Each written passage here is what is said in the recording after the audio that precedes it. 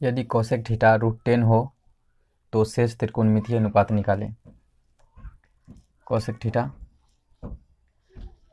Root ten है। Root ten by one लिख सकते हैं इसको। कौशिक थीटा होता है। कर्ण बटे लंब। यहाँ से हम आधार निकाल सकते हैं।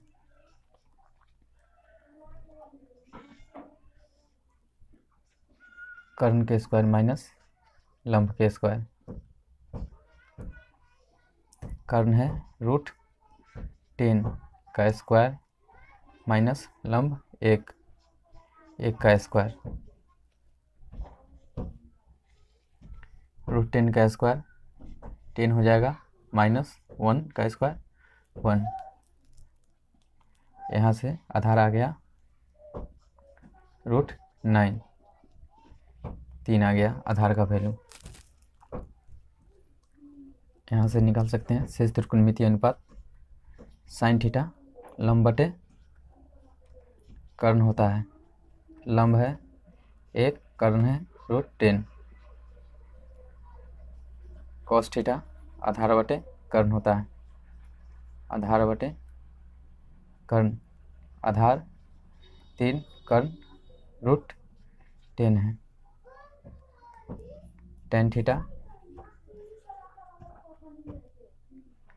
लंब बटे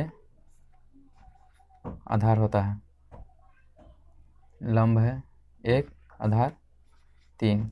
कोट थीटा टेन थीटा का ऑपोजिट होता है। आधार बटे लंब हो जाएगा।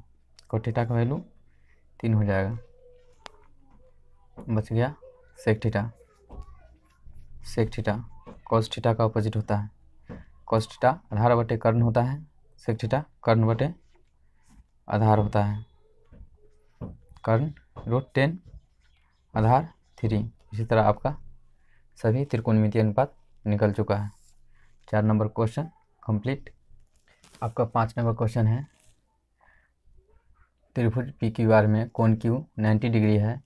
यदि पी क्यू चार सेंटीमीटर क्यू आर तीन सेंटीमीटर हो तो sine R cos R cot R tan P sec P तथा कौशिक पी का मान ज्ञात करें। टेन पी तथा कॉट आर के मानों में क्या संबंध है? इसमें सबसे पहले हम त्रिभुज बना लेंगे। त्रिभुज पी क्यू आर।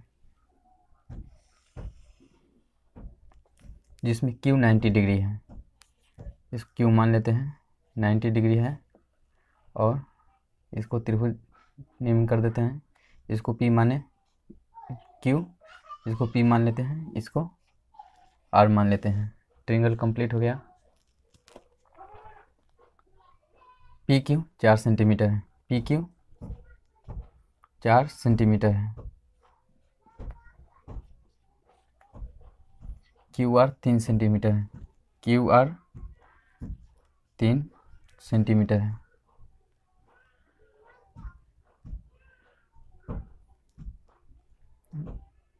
इसका हम त्रिभुज का कर्ण निकाल लेंगे। कर्ण रूट अंदर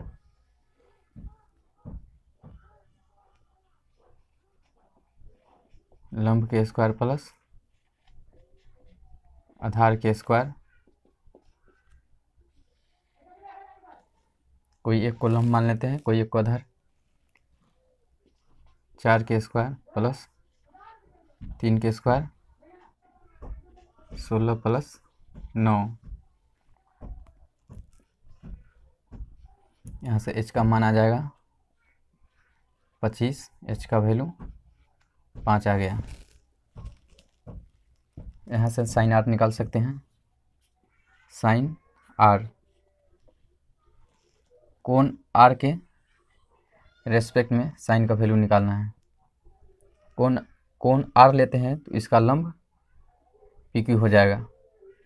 साइन आर लंब बटे कर्ण पी क्यू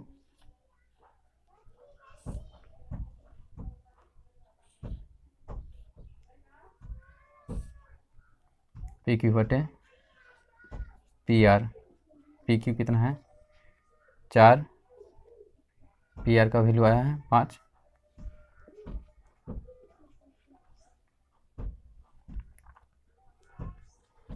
साइन आर निकल गया यहाँ से. कॉस आर निकाल लेंगे. कॉस आर आधार बटे कर्ण. क्यू आर बटे पी आर आधार है. तीन, कर्ण है। पाँच कॉट आर कॉट आर आधार बटे लंब। पी क्यू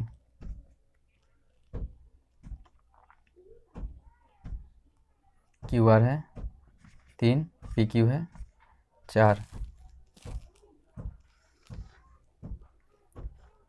टेन, पी का वैल्यू निकालना है। कौन एंगल पी के रेस्पेक्ट में टेन का वैल्यू अगर कौन इसको लेंगे पी को लेंगे तो लंब ये क्यू आर हो जाएगा। टेन पी लंब बटे आधार। तो क्यू आर बटे पी क्यू क्यू आर तीन है पी क्यू चार है। टेन पी तीन बटे चार हो गया।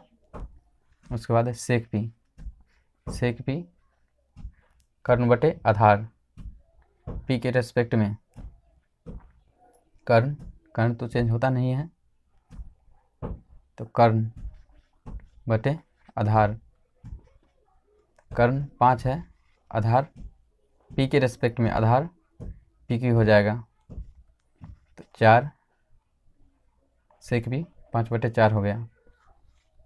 Cosec P cosec P. कर्ण बटे लंब।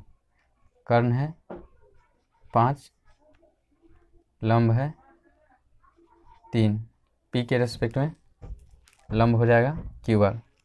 कौशिक पी निकल गया। अब पूछ रहा है टेन पी तथा कॉट आर के मानों में क्या संबंध है? टेन पी टेन पी का वैल्यू रहा तीन बटे चार कॉट आर वैल्यू भी तीन बटे चार है। Tan P tan P equal to cot R है। आपका पाँच नंबर क्वेश्चन भी कंप्लीट हो चुका है।